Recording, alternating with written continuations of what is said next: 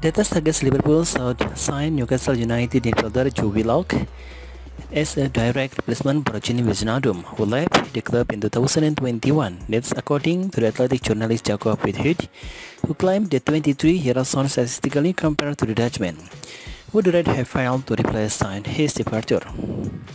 As per the Athletic Sport report, only two central midfielder with 500 plus minutes this season are above average for ball retention, doing applying volume and defending impact.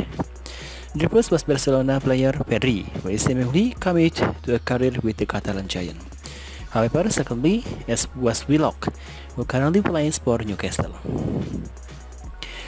The data illustrates that the two men statistically compared to Wijnaldum for the permanent criteria. Furthermore, although the 22-year-old is below the former Reds for his defensive impact, he, he blows him out of the water for previous attacking start. This includes interception in the box, shooting Everton, creativity from ball position and contributing to his team chance, having a rip from Arsenal in 2021. In a deal worth 25 million pounds, Joe Willock has been extremely impressive for Eddie Howe's side this season. Far, he has played in every Premier League games this term, in which he scored twice and provided two assists, in evidently saw Liverpool are desperate need to a midfield addition this month. Having allowed Wijnaldum to leave, found the expiry of his current his contract in the summer of 2021.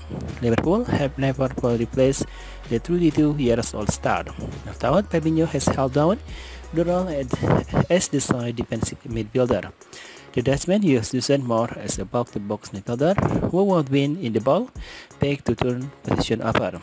Ever since his departure, it has become abundantly clear the middle side outfit are missing a player possessing this type of profile.